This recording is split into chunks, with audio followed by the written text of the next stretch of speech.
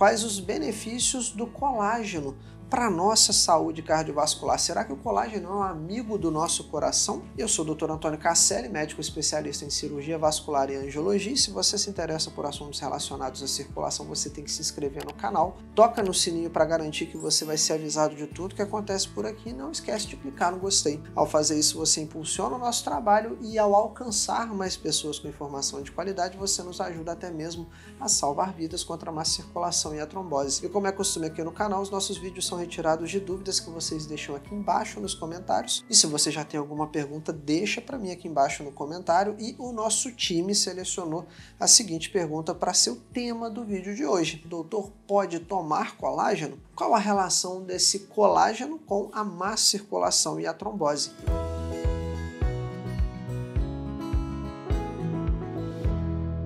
E para começar o nosso tema de hoje, o colágeno é uma proteína fascinante e fundamental no corpo humano. Ele desempenha um papel significativo em várias funções do nosso organismo, inclusive na saúde vascular e na circulação sanguínea. A palavra colágeno ela vem do grego cola, que significa cola, grudar, e genos, que significa origem. E essa nomeação reflete a função inicialmente percebida do colágeno que era uma espécie de cola que mantinha diferentes partes do nosso corpo unidas. Com relação ao colágeno, ele é a proteína mais abundante do corpo humano, constituindo cerca aí de um terço da composição proteica total do nosso corpo. Ele é um elemento chave na formação de vários tecidos do corpo humano, como por exemplo a pele, os nossos ossos. Ele é crucial para os nossos vasos sanguíneos. A sua estrutura fibrosa,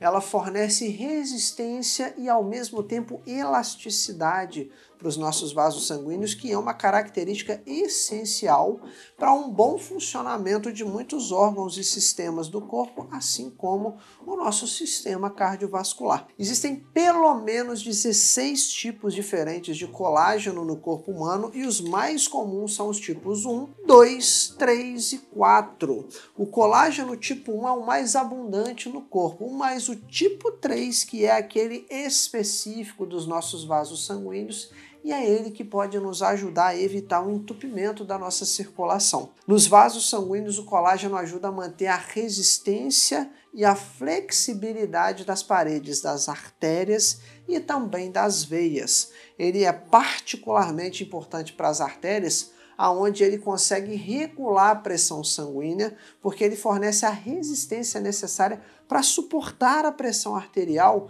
sem permitir que as artérias se rompam ou se tornem excessivamente rígidas. E é por isso que a deficiência do colágeno tem uma íntima correlação com os aneurismas, com as varizes e também com a aterosclerose. A deterioração, a degradação do colágeno da parede das nossas artérias pode contribuir para a rigidez e o estreitamento dos vasos sanguíneos levando à aterosclerose. A aterosclerose entope a nossa circulação, causando doenças como o AVC, o infarto e a doença arterial periférica, que é um fator de risco para amputação. Quando a gente tem deficiências na integridade do colágeno, a gente pode ter veias fracas ou artérias flácidas e formar aneurismas especialmente em grandes vasos como a aorta. O enfraquecimento da parede vascular por falta de colágeno, por exemplo, nas veias, é um fator importante para o surgimento de varizes, que são veias dilatadas, distendidas e tortuosas. E quanto a gente fala de produção ou a qualidade do colágeno, né? se um desses dois fatores compromete a formação de um colágeno de qualidade, a gente tem diversos problemas circulatórios.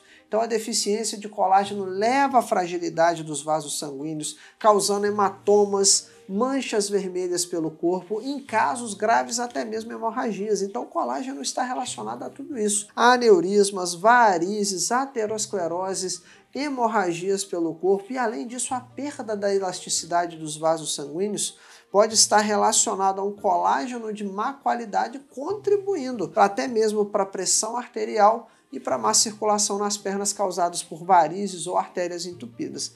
Vários fatores podem afetar a síntese e a qualidade do colágeno no corpo. O próprio envelhecimento é um fator para um colágeno de baixa qualidade, deficiências nutricionais, exposição excessiva ao sol, hábitos prejudiciais como fumar e se alimentar de forma inadequada, a idade com a idade, a produção do colágeno naturalmente vai diminuindo. Isso contribui para o enfraquecimento dos vasos sanguíneos e problemas relacionados à circulação. A exposição excessiva ao sol, à radiação, pode degradar o colágeno da pele, levando ao envelhecimento precoce. O colágeno mais abundante na pele é o tipo 1. E isso é muito importante da gente ressaltar que o protetor solar é importante para uma boa saúde da pele e também na preservação do, do, colágeno, da saúde do nosso, da nossa epiderme, da nossa pele. Dietas ricas em vitamina C, em cobre, em aminoácidos específicos como a prolina e a lisina são fundamentais para a síntese do colágeno de qualidade pelo nosso organismo. Fazer atividade física regular, por incrível que pareça, ajuda a manter uma boa integridade dos vasos sanguíneos e um colágeno de qualidade. Isso pode influenciar na qualidade também dos seus vasos sanguíneos. E suplementar colágeno, tomar colágeno, se tornou muito popular nos dias de hoje, porque é uma maneira de melhorar a saúde da pele, dos ossos e, teoricamente, também a saúde vascular. Mas, embora existam alguns estudos sugerindo benefícios da suplementação de colágeno, a eficácia dos suplementos, a absorção, a melhoria na saúde vascular de forma palpável, prevenção de problemas circulatórios com a suplementação ainda é um campo de investigação e de muito debate. É crucial a gente considerar que a absorção, a utilização do colágeno absorvido pelo corpo, ele varia de pessoa para pessoa e ele está mais relacionado a hábitos deletérios do que você se entupir de colágeno. De forma resumida, pessoal, o colágeno ele é um componente vital para a nossa saúde, tanto do da pele, do corpo, para a integridade dos nossos vasos sanguíneos. Ele desempenha um papel fundamental na prevenção e no manejo das doenças da circulação de diversos tipos. Enquanto algumas pesquisas ainda estão sendo mais aprofundadas, com relação à suplementação, ao impacto, aos benefícios de tomar colágeno, é muito importante a gente reconhecer a relevância dessa proteína para uma boa saúde circulatória. Mas o fato de você se entupir de colágeno não garante que ele vai corrigir hábitos deletérios como fumar, não fazer atividade física e não cuidar da sua alimentação e se hidratar. Alguns fatores afetam muito mais a qualidade do colágeno do que você expor o seu corpo a quantidades exacerbadas.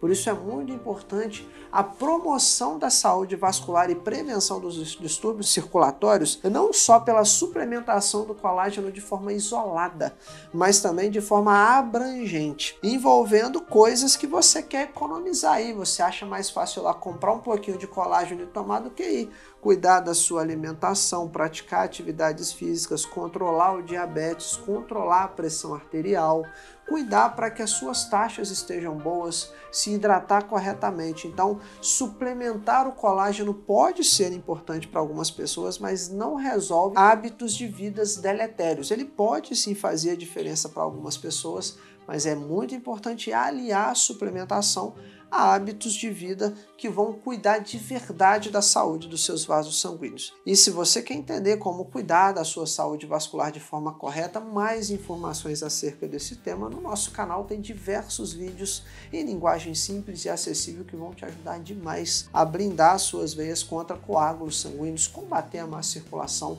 o entupimento das artérias, formação de trombos da forma certa. Mas se esse vídeo de hoje foi muito importante, se você gostou, teve muita informação de qualidade, foi até melhor do que uma consulta médica que você já pagou por aí, não foi tão bem atendido, eu te convido a contribuir para os nossos projetos sociais. Nós ajudamos algumas pessoas com úlceras de má circulação que são feridas de difícil cicatrização e que exigem trocas frequentes de curativos, pessoas aguardando por cirurgias para veias entupidas. Então, qualquer contribuição, por menor que seja, dentro das suas capacidades, com certeza você vai ajudar através dos nossos projetos sociais a gente ampliar esse trabalho e salvar mais vidas contra a má circulação e a trombose. Aqui embaixo tem um botão valeu demais para você fazer a sua contribuição e também tem uma chave Pix na descrição desse vídeo. E na descrição desse vídeo também tem um link para você conhecer o nosso programa avançado de combate às doenças da circulação, o SOS Má Circulação e Trombose. Antes de deixar esse vídeo, clica no gostei, se inscreve no canal e deixa para mim aqui embaixo um comentário. Quero saber aqui através dos comentários se você toma colágeno, qual colágeno você toma. Você sabia que o colágeno tipo 3 é o principal para os vasos sanguíneos? Ou será que você está tomando colágeno tipo 1, que é bom para pele, cabelo e unhas? Conta para mim a sua experiência com colágeno. Quero saber o que, que passa aí do outro lado da tela e trazer um conteúdo cada vez melhor para você. Então, deixa para mim um comentário nesse vídeo qual dose você toma, se você não acredita no colágeno, se você já tomou e passou mal, enfim, compartilhe comigo a sua experiência, deixe um comentário aqui embaixo nesse vídeo e nunca se esqueça que a prevenção é sempre o melhor remédio para qualquer tipo de doença, até mesmo as doenças da circulação. E como a saúde é o nosso bem mais precioso, sem ela você não consegue trabalhar e trazer o seu sustento, curtir, viajar, passear, aproveitar a vida com as pessoas que você ama. Então se cuide, se previna, se proteja, cuide bem da sua saúde, se proteja contra as doenças da circulação, se previna contra as doenças que afetam o corpo humano. E é para isso que a gente está aqui, para te ajudar nessa tarefa, para te apoiar nessa missão. Conte sempre conosco e eu estou te esperando no próximo vídeo. Até lá!